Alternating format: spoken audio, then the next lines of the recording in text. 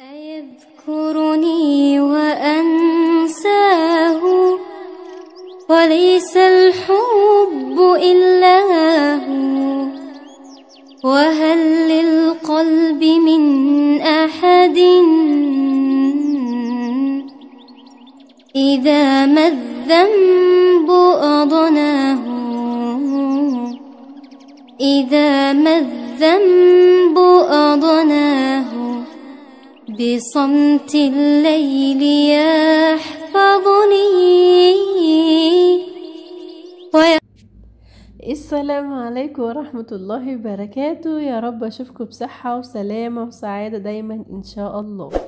النهاردة هنرقص بقى ونفرفش وناكل ونشرب آه، خارج البيت. آه، كل شهر كده بنجمع نفسنا. آه، طبعا دول أهل جوز الهنود. طبعا بسبب الكورونا وكده ما بقاش في تجمعات آم، حاجات زي الأول الصراحة وفي ستريكت قوي وفي يعني دلوقتي بدأوا مرة تاني غلق و... وربنا يسترها علينا بسبب كورونا يا رب العالمين و... وال- والوباء ده الوباء ده يمشي على خير إن شاء الله. آه لو كلامي مش واضح متزعلوش مني لأن ده يعني مشكلة في مخارج النطق. يعني في عندي مشكلة نطق من زمان جدا من كنت صغيرة. آه الأمامير الصغيرين دول آه ولاد آه أو أحفاد يعني بنت بنت خالة جوزي. والتلاتة دول وكل واحدة لها بنت.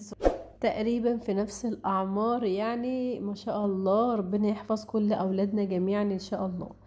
بصوا بقى أنا حبيت أبعت آه، رسالة شكر لكل الناس اللي متابعاني. شكرا يا وفاء على اللي انتي متابعاني كويس وعلى طول لايكات وعلى طول آه، مش بتتخطي المشاهدة ولا الإعلان. شكرا. وأشكر كل الناس. واحد واحد متابعني زي أستاذ أشرف أستاذ سعد كل الناس اللي بيخشوا بيشجعوني. شكرا جدا جدا جدا. بصوا أول واحد علمني اللغة الماليبارية آه، الأول شخص كان لابس أبيض فابيض من رجل يعني وهو كان اسمه علي اسمه علي واللي بيصور آه، البنات ده ولابس أزرق اللي هو ده أخو جوزي الكبير أكبر واحد فيهم. تعالوا بقى نشوف حكايتي مع الجواز يا الجوز العواجز. يقعد لها في عينها وعافتها يا رب. يا رب عفت بنت عبد الكريم. أشوفها مش هحتفها يا رب.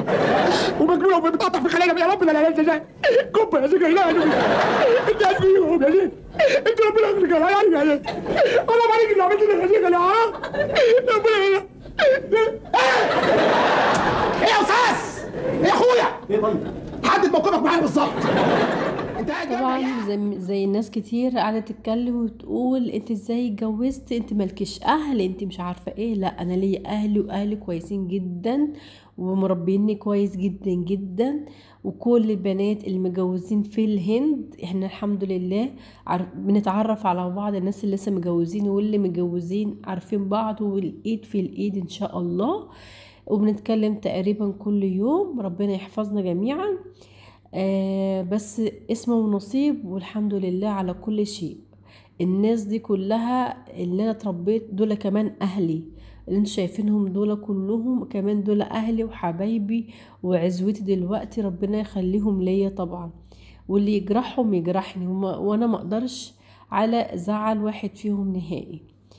أول ما اتجوزت كان في طبعا مشاكل وكان في رفض من الجهتين. كل جهة تعتقد ان آه، إن إب- إن ابننا أو بنتنا هتضيع وممكن يعني تروح يعني خلف الشمس ما بنقول ومش هترجع لصوابها تاني إلا في آه، يعني يعني لو رجعت هترجع بمشكلة كبيرة آه، بعد الجواز يعني لو حصل جواز.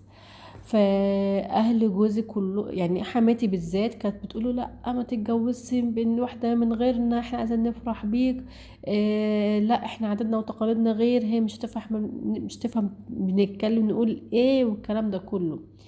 آه حماتي أول ما رحت لها آه الصراحة كانت متفاجئة بيا قوي بتبصلي كده باستغراب كانت يعني اكنك كده مسكتي واحد ورشقتيه في المكان ومش عاي... مش مش عايز يمشي من مكانه.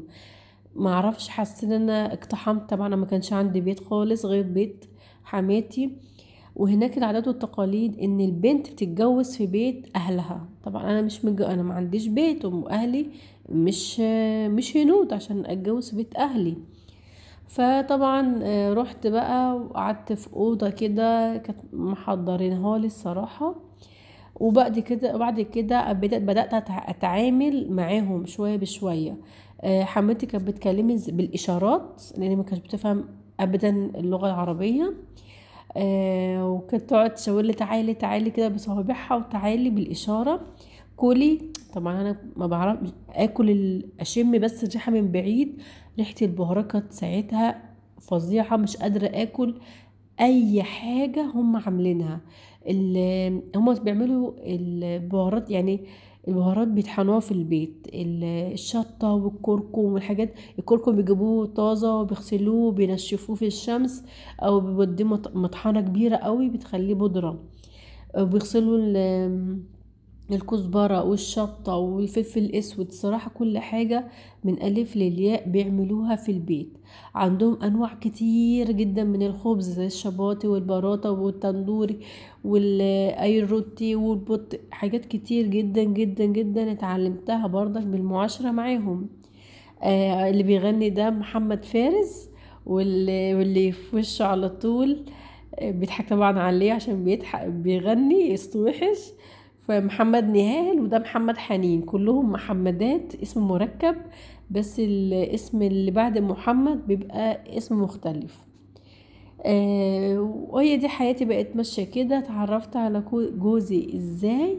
للمرة التالتة أو محدش يقول لي بعمل تاني فيديو عن إزاي. جوزت إزاي؟ تمام.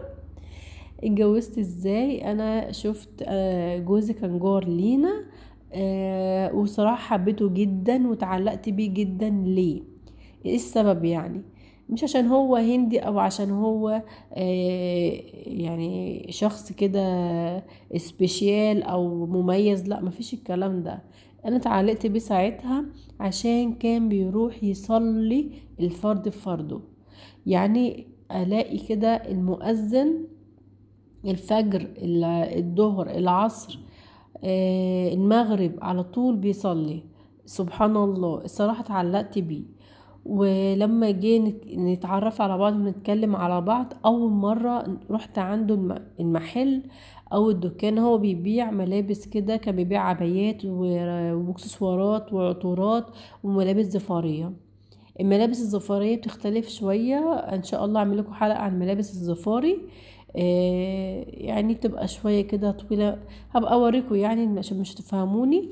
ف رحنا اشترينا أنا وماما ساعتها شوية حاجات وكده فهو كان بسأله هو أنت اسمك إيه؟ قال لي اسمي زبير. فقلت له هو أنت مسلم؟ راح قال لي أنا مش هرد عليكي يعني إيه اسمه زبير يعني إيه؟ قلت له آه يعني صحابي الصراحة بس قلت أتأكد. فطبعا بعد كده لاحظت ان هو بيروح المسجد وبيصلي مع والدي والكلام ده كله. وما أعرفش كده قلبي سبحان الله انفتح له. آه، بدأت مثلا وإحنا رايحة المدرسة. آه، كنت ساعتها في أولى ثانوي. إحنا اتجوزنا في ألفين آه، وواحد الحمد لله. كنت لسه متخرجة من أولى يعني لسه ناجحة كده في أولى ثانوي. والحمد لله بعد ما بعد ما اتج- اتجوزت هو الصراحة قال لي كملي زي ما انت عايزة واتعلمت ورحت بقى إيه الامتحان وأنا حامل. الحمد لله. آه وايه تاني؟ المهم بعد بقى ما اتعرفت فهو طبعا قال لي أنا هروح أقول لوالدك إن أنا عايزة أتجوزك وكده. تمام؟ لاني أنا عندي إخوات بنات وحرام عليا اللي يجي آه، يعني ما أقبلش على نفسي ما أقبلش على ولاد الناس. وهو كان بيتكلم كويس برضك عربي لأن هو شغال في دولة عربية عمان. فبس فراح عند والدي. والدي بقى عمل مشاكل كبيرة. كان جاي هو وكفيل بتاعه. قال له لأ أنا ما عنديش جواز للبنات بنات خالص للجواز. وخد بعضهم ومشيوا. بعد كده إحنا رحنا مكان تاني والمكان تاني أنا كلمته في التليفون كان معايا رقم تليفون أرض ساعتها ما كانش محمول قليل جدا.